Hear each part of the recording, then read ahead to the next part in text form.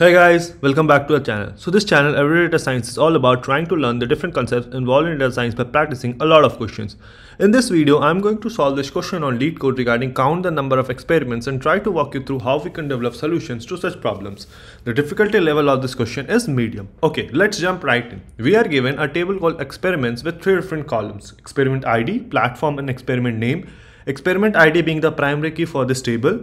Platform is an enum type value with one of the values Android, iOS or web. Experiment name is again an enum type with one of the values reading, sports and programming. This table contains information about the ID of an experiment done with a random person, the platform used to do the experiment and the name of the experiment. Okay we are asked to write a SQL query to report the number of experiments done on each of the three platforms for each of the three given experiments. Notice that all the pairs of platform and experiment should be included in the output, including the pairs with zero experiments. The order of the result doesn't matter. Okay, so if you see, there are three platforms, Android, iOS and web and there are three experiments right? Reading sports and programming. So if you see what is the total number of combinations that you can have? You can have nine combinations right? So android reading android sports android programming similarly ios reading ios sports ios programming similarly for web right? So in nine.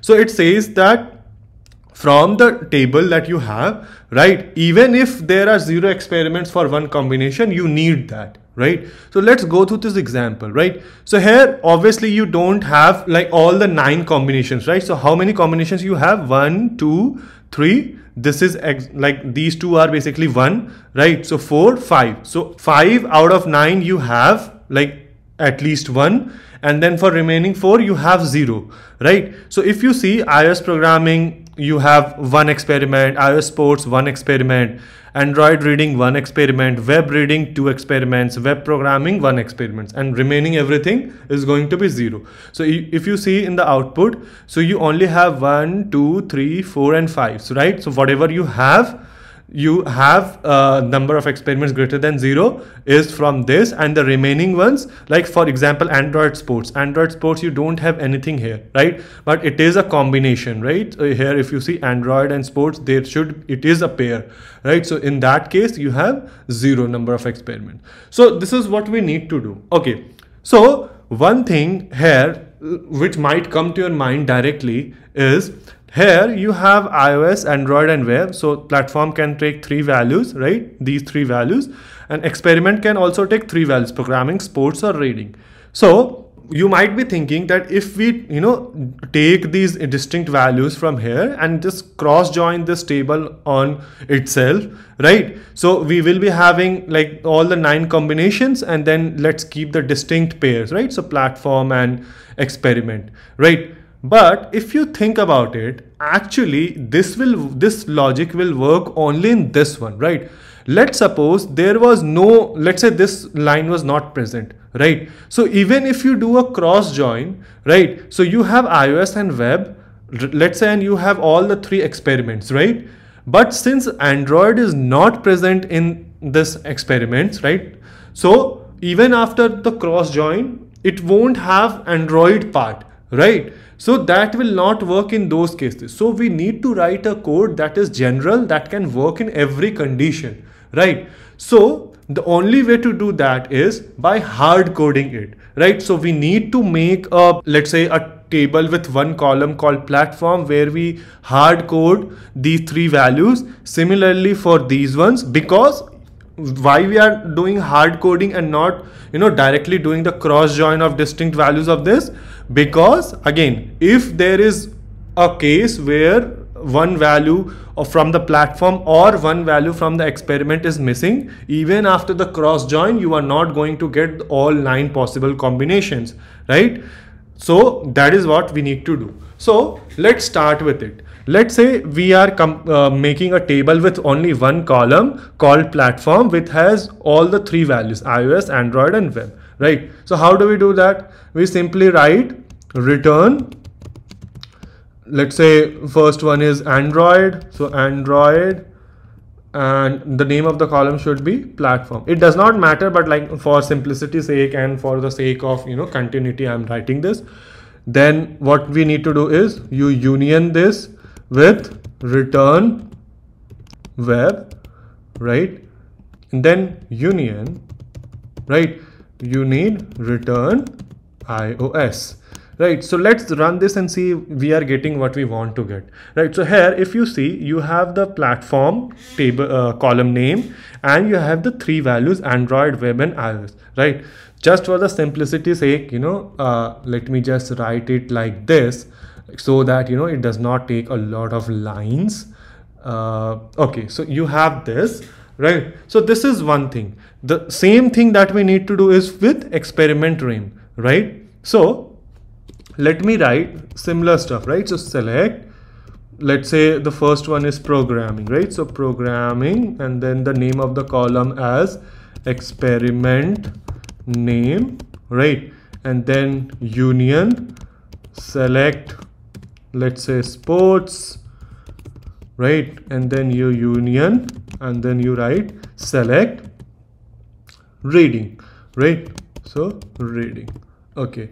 Let me just you know run this. Let me just you know just cut this out so that you know we can make sure that we are still getting what we need programming sports and reading. The name of the column is experiment name right? So you have these two values right? So what you can do is from these two you can now perform a cross join and every time you perform a cross join since you uh, hard coded these values so there is going to be nine possible combinations right? So what we can do is this thing you know this can be your one table right with one table with one column with three different values right? Similarly this is table 2 one table with one column and three different values right? So let's alias this as maybe let's say t1 let it let this table be t2 right now what we need to do is you need to cross join these two right? Cross join.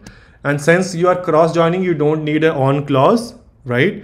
And let's write this. So this is table 1 this is table 2 you are from this table you are cross joining another table. So you can write from this table cross join this right? And once you are cross joining what you are returning? You are basically returning both these columns right? Platform and experiment name. So let me write return platform and experiment name columns right? So basically return both the columns. Okay. Or you can just simply write select star as well. Does not matter. Like let me just write select star.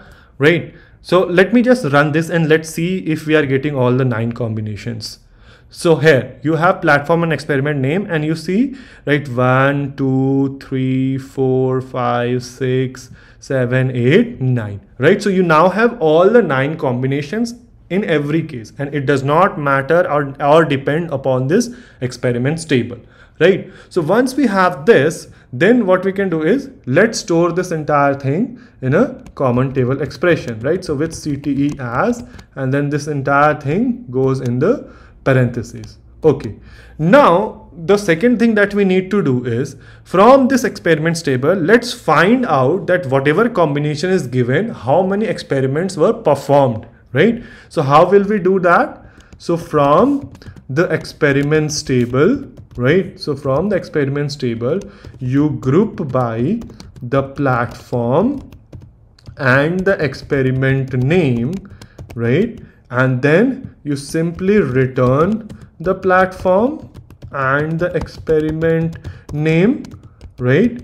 And the num count of experiment id right? So count of experiment id because since this is primary key of this table so non-null unique value so if you count this that is going to give for each of these combinations what is the number of experiments performed right? So count of experiment id and let's alias this as number of experiments right?